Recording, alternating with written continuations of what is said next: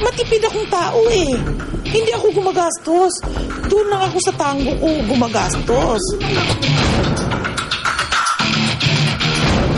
Laking gulat ng character actress na si Vanjie Labalan nang matuklasan niyang nabiktima siya ng credit card scam. Aabot sa halagang 200,000 piso ang pilit na pinababayaran sa kanya ng bangko.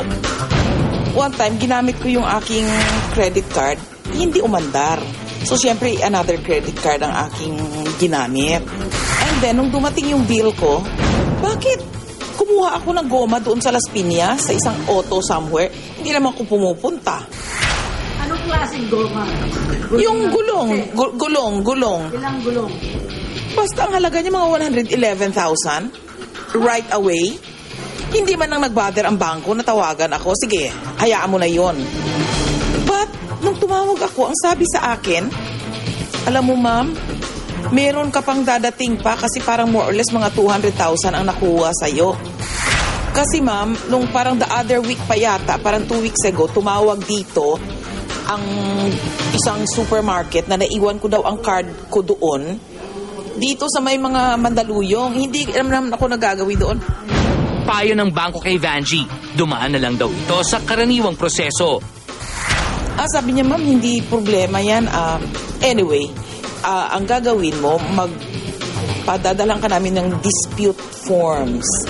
Ang dispute forms, padadalan sa iyo, pipil, up, fill upan mo, ifa-fax mo sa bangko para ma, manigar mo, ma, ma-deny mo yung ano, i-dispute mo na hindi ikaw ang nagpunta roon. Okay, ginawa ko. Aba, yung sumunod na ano, ang dami. Ang problema ko, sige pa rin sila ng singil ng singil sa akin. Parang hindi sila nagko-coordinate. Sabi ko, mag-coordinate naman kayo. Ako'y na-scam.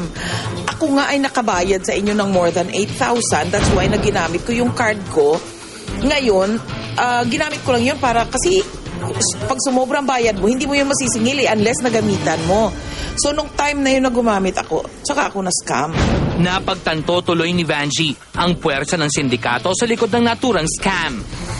Masyadong matindi ang pag-scam, yung kinokopya, yung nire-report ng police mismo, yung head na isang masipag na na kahit na ako wala silang takot, I do not know, maybe hindi nila alam na artista ako, pero ganun kahina ang sitwasyon, ang tagal na at nagre-reklamo ako, nagpadala na ako ng dispute form to dispute the fact na hindi ako ang nag-shopping ng ng mga gulong, ng kung anik-anik, nag ano-ano, nag nagkaraoke sila doon sa mamahalin, nag Hindi ko gawain 'yun. Awa po kayo bangko.